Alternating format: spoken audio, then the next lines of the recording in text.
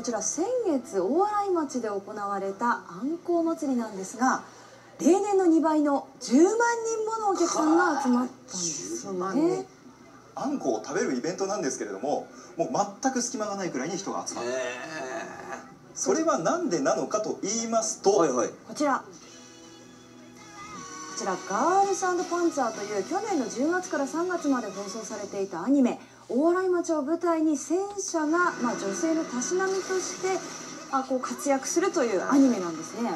それがですね大洗を舞台にしてましてまあそのほらマリンタワーが出てきたりですとか、こういうのがあるのでファンが集まってきているということなんですね、はい。さあその取り組み見てみましょう。はい、にぎわいがあるこの大洗町から細谷みどるさんに伝えてもらいます。細谷さん。はい茨城県有数の漁業の町大洗。今私はその曲がり町商店街に来ています。この実は大洗今年あるものでにぎわいを取り戻しているんです。その秘密がこちら。アニメのキャラクターの等身大パネル私の身長と同じくらいです。こちらのパネルを置いているお店の方にちょっとお話を聞いてみます。こんばんは。はい。駄菓子屋さんの坂本千恵子さんです。坂本さんあちらのパネルを置いてからお店の売れ行きはどうかありましたか？はい、2倍、3倍になりましたおね。ーそんなに賑わうようになったんですね。ありがとうございます。さあこうした取り組みどういう仕掛けがあるんでしょうか？早速仕掛け人の方にお話を聞いています。時和義彦さんです。こんばんは。こんばんは。どうも。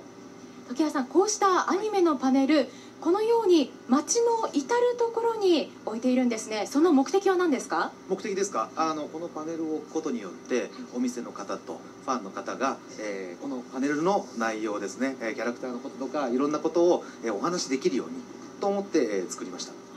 なるほど。ファンと街の方をつなぐために。そうですね。あのやっぱりこれがあることによってあの会話のきっかけっていうのがすごくできますしはい。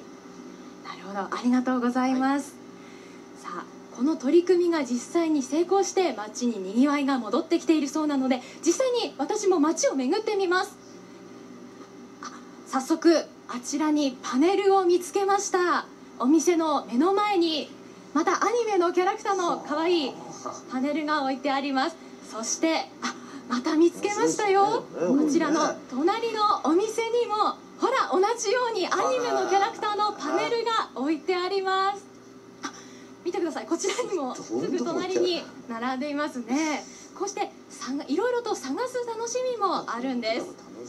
さあそしてこの取り組みパネルだけではないんです。実際に地元のお店の方もアニメファンを迎える工夫をされているんです。ちょっとこちらの創業明治29年の海産物店にお邪魔してみます。こんばんはどうもようこそいらっしゃいましたありがとうございます店主の方にちょっとお話を聞いてみます、はいじゃあこちらまずお店の目の前に戦車、はい、そうですね。あのこちらはですね、サンダース大学附属高等学校のケイちゃんが乗っている戦車なんです。このアニメのキャラクターが乗っている戦車そうです。はい。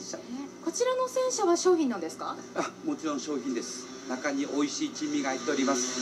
そうなんですね。こちらもファンの方をおもてなしするために用意していってこうやって綺麗に並べてるんですね。そうですね。今日もたくさんお客さんいますけども、たくさん買っていただきました。なるほど。ありがとうございます。はい。またいらっしゃってください。あどうもありがとうございます。またぜひ遊びに行きます。ね。お店の中にたくさんファンの方もいらっしゃいましたね。こうしてお店の方もいろいろな工夫をされているんです。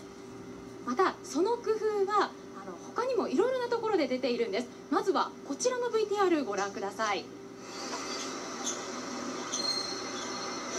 えばこちらが鹿島臨海鉄道。車両にはアニメのイラストが描かれているんです。バスにも。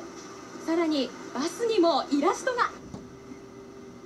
車両の中にもイラストがあってまさにアニメ一色のなっています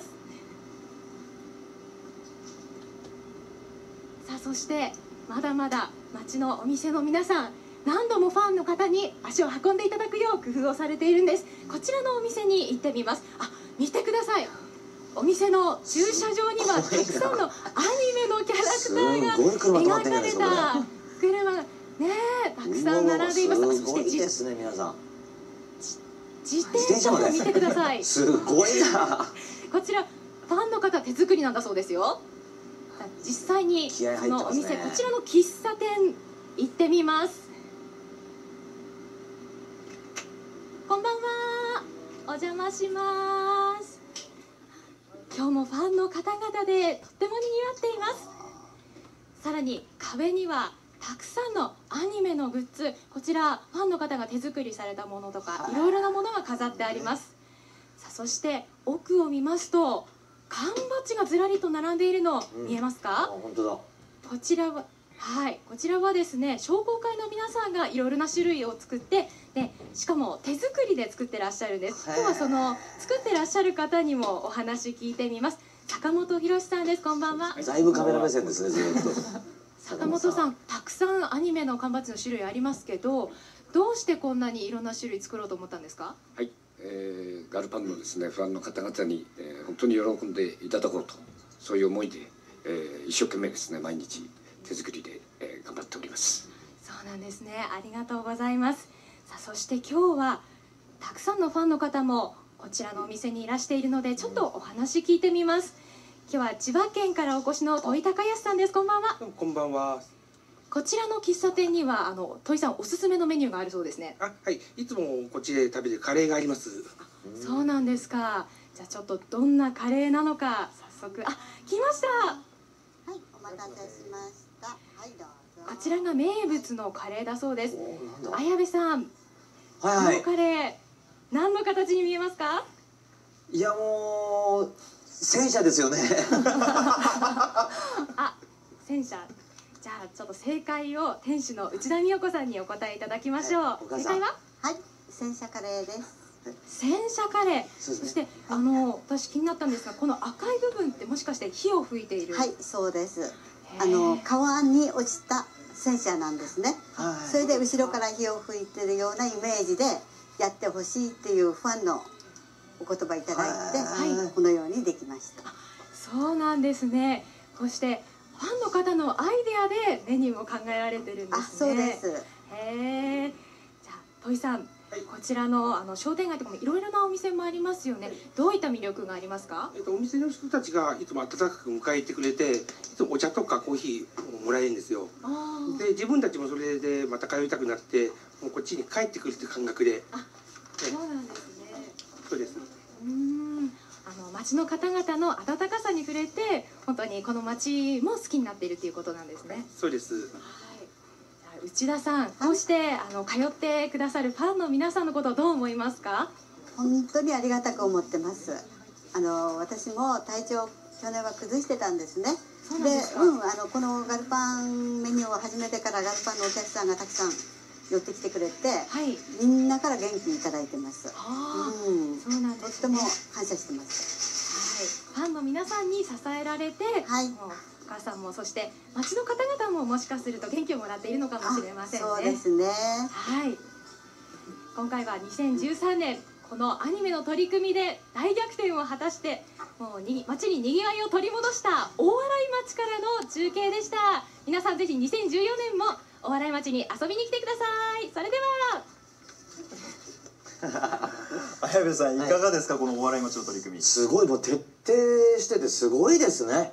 本当に。あとまあ僕のあの正解かどうかはまだ言われてないですよ。合ってたんですよね。もう正解です。まだ答え言わされただけになってたんですけど正解ですとか普通ありますよね。普通に何事もなかったように進んでましたけど。すいません。そうですね。でもすごい面白いですね。こうやってあのお店だけじゃなくてそれにバスに鉄道に、うん。そして商品にまでしてるっていうところがね、そして地元の皆さんが、ね、缶バッジ作ったりとかいろいろやってるっていうところがやっぱそれが人がこう集まってくるね何かをね動かしてるもんなんだろうと思いますけどね、このように大洗町はその新しい工夫をして海水浴だけじゃない魅力を取り付け、あの取り入れてるわけなんですけれども、他の町でもうん。こんな取り組みをしているんです、